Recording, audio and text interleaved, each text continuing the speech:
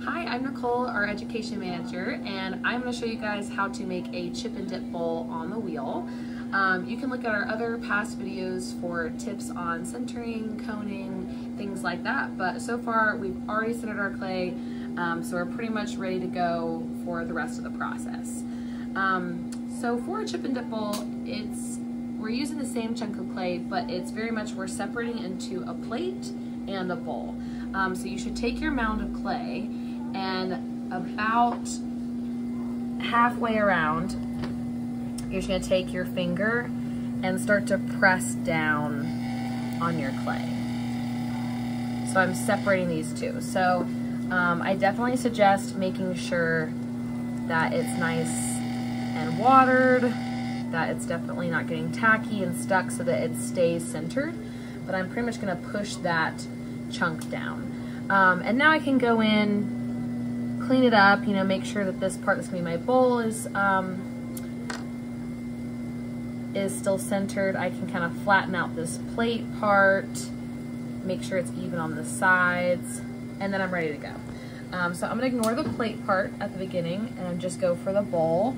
And pretty much this is gonna be like throwing a regular bowl. So I will open it in the middle and you want to make sure that you leave a good amount at the bottom. And then I'll open the middle like a bowl, so I want it to be rounded on the inside. So now I can kind of make this however big I want this bowl. I've got a lot of clay, so I can definitely make this um, a good sized bowl, but you could also just leave it like this if you're wanting something a little smaller, more of a small snack or a dish.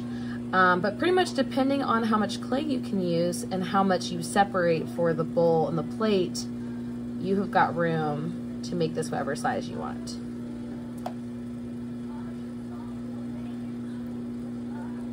So again, I am working just on the bowl and I have not touched my plate part.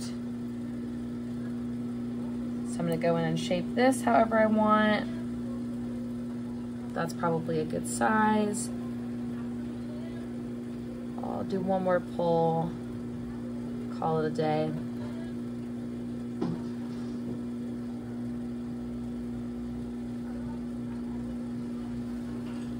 So you can even go in and shape your bowl, either, you know, have it more of a cone.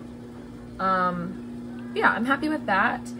And so to expand my plate now, you can get uh, either a rib or you can use your finger.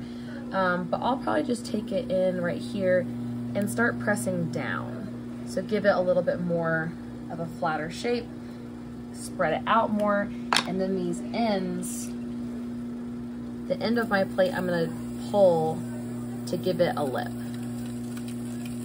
So I'll just really dig in there to lift that clay up. And then I can do kind of a miniature pull to give it a wider rim so then you have room here if you want to leave it as a wider rim, you can do that.